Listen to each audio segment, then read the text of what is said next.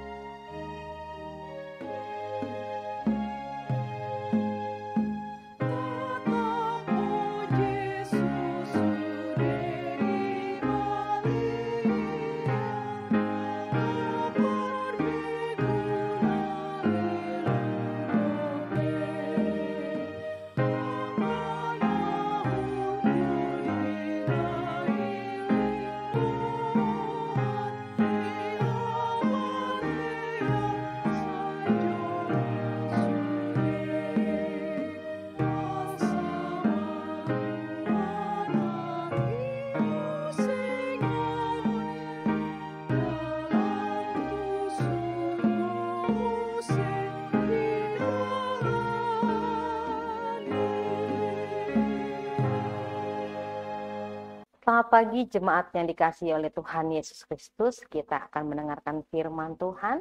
Mari kita berdoa. Allah Bapa kami yang kami sembah dalam nama Tuhan Yesus Kristus. Di sini kami mempersiapkan hati dan pikiran kami ya Tuhan untuk mendengarkan kebenaran firman-Mu.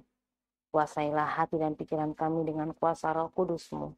Sehingga firman yang boleh kami renungkan pada hari ini menguasai kehidupan kami dan juga menjadi berkat bagi kami. Terima kasih Tuhan, berfirmanlah Engkau, kami siap untuk mendengarkan. Dalam Kristus Yesus kami berdoa. Amin. Firman Tuhan untuk kita pada pagi hari ini tertulis dalam Matius pasal yang ke-8 ayat 11. Ayat renungan kita hari ini, Kamis tanggal 16 Mei 2024, diambil dari Matius 8 ayat 11. Aku berkata kepadamu, banyak orang akan datang dari timur dan barat dan duduk makan bersama-sama dengan Abraham, Ishak dan Yakub di dalam kerajaan surga. Demikian firman Tuhan.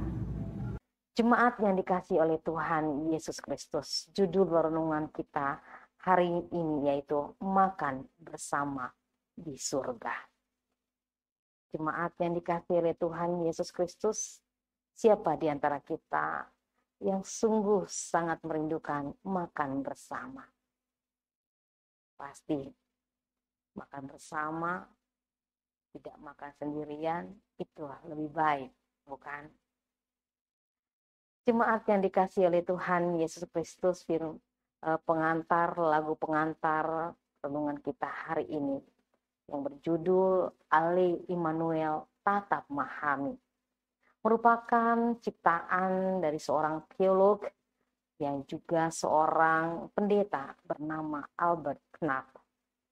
Lagu yang diciptakan Albert Knapp ini oleh HKBP eh, dimasukkan di dalam buku ND eh, bagian tema tentang kerajaan Allah. Dalam penulisan lagunya, Albert Knapp membawa kekuatannya sebagai seorang penyair dan kedalaman imannya sebagai murid Yesus Kristus yang sungguh-sungguh.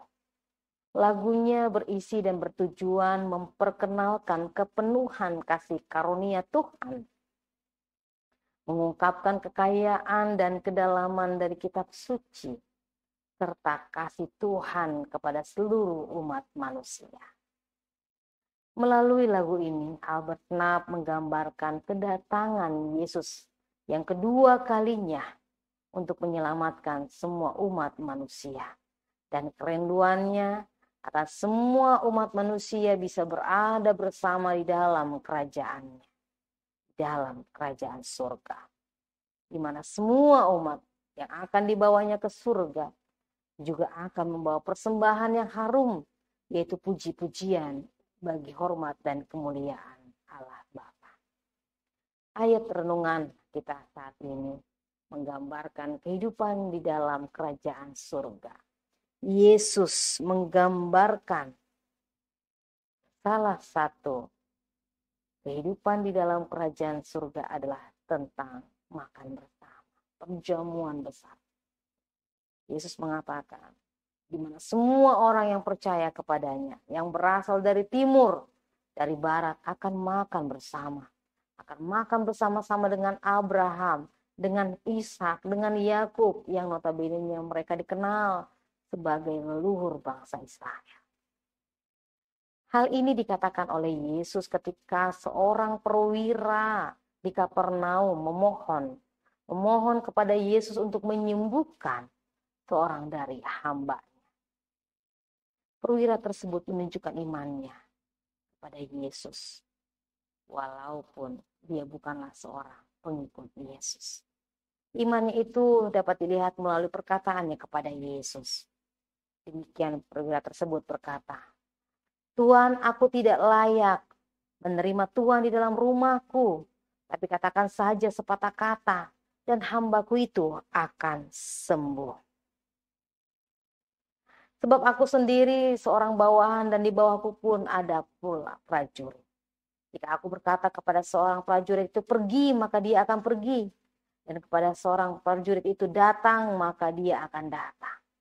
Ataupun kepada hambaku, kerjakanlah ini, maka ia akan mengerjakan. Oleh karena itu, melalui firman Tuhan pada pagi hari ini, yang membuktikan bahwa banyak orang, banyak orang yang akan menjadi satu tempat perjamuan akan bersama.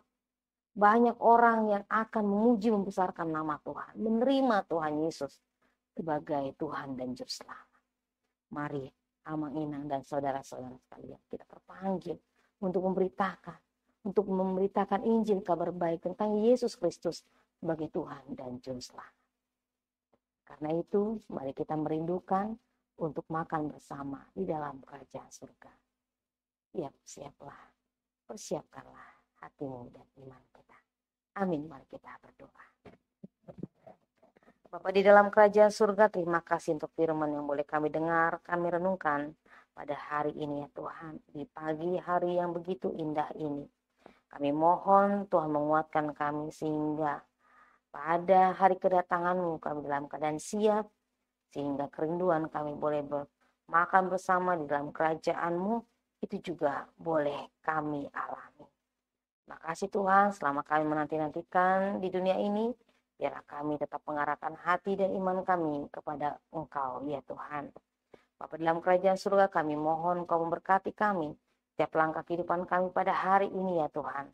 Setiap hal yang akan kami lakukan, Engkau jagai kami, berkati, jauhkan dari segala mara bahaya, jauhkan dari segala sakit penyakit, dan niat-niat jahat dari orang lain. Pada kesempatan ini juga Tuhan kami mau bersatu hati berdoa untuk orang-orang yang kami kasih dan mengasihi kami.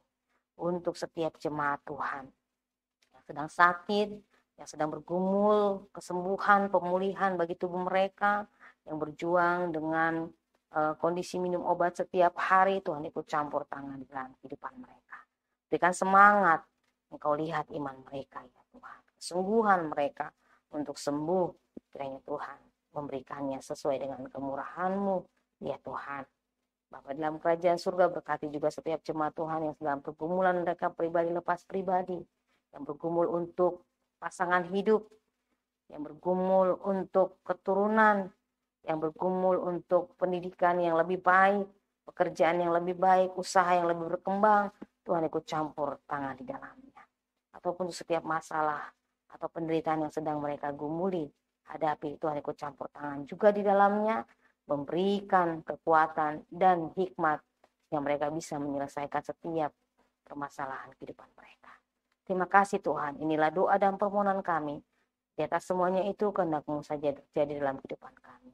Dalam nama Tuhan Yesus Kristus, Tuhan dan Juru Selamat kami yang hidup, kami berdoa dan mengucap syukur.